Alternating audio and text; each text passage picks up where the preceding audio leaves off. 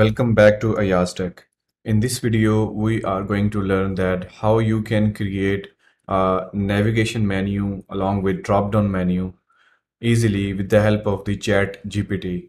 In this video, we used Chat GPT to write us the HTML and CSS to create this drop-down menu. First of all, open the chat and let's start typing create a very professional animated drop down menu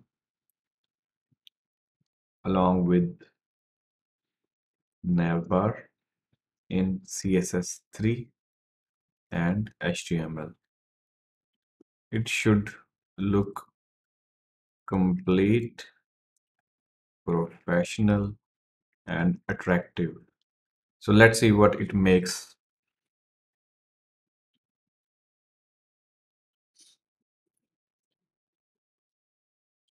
So it has started from the HTML code and we can see that this is the nav bar and these are the menu items and in the services it added some drop down menus.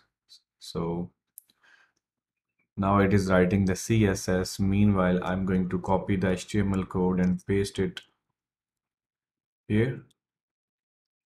After that, we have to copy the CSS. Okay, the CSS is completed. Let's copy it and paste it in the head tag. For that, I have to add the style. Okay let's test it here. Okay great. You can see that uh, the drop down uh, the nav bar is created and uh, we have a drop down menu. You can see that when you hover on the services you can uh, access the drop down menu. And uh, one thing that is missing is that uh, I wanted animation for this drop-down menu. For example, when I hover it, the drop-down menu should appear with the animation. So let's try to talk with the chat GPT to uh, improve it. Uh, the drop-down menu should be visible with animation. Also improve the font family. So let's see.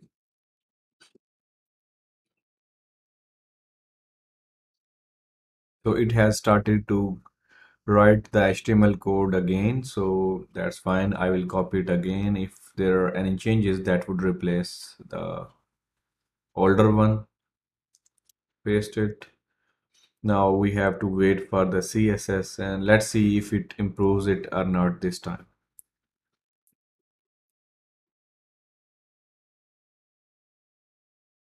Okay, let's see. Uh, by the way, I did not see any transition property, so I don't think that it will animate, but let's see.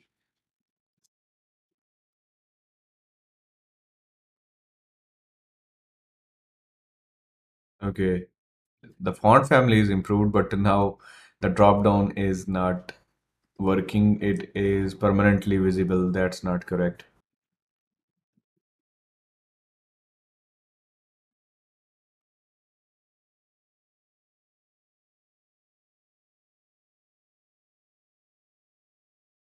Let's try again and see if that helps or not.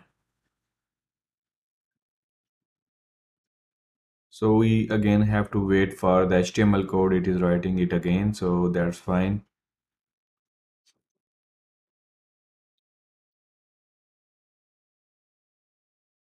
Okay, I'm going to replace the HTML again. Okay, I am reading the code. It has added the font family. That's good. Uh, but I still don't see any animation. So let's try the CSS again. Okay, it is it is working very perfectly, but uh, there is no animation. You can play with it. You can uh, talk with ChatGPT in different ways to get your desired result. but uh, for now this is the version that we could get it get from it. And you can see that the drop down menu is working correctly.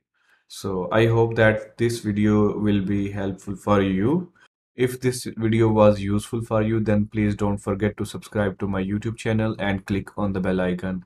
Also please like and share this video thanks for watching. See you in the next video. Goodbye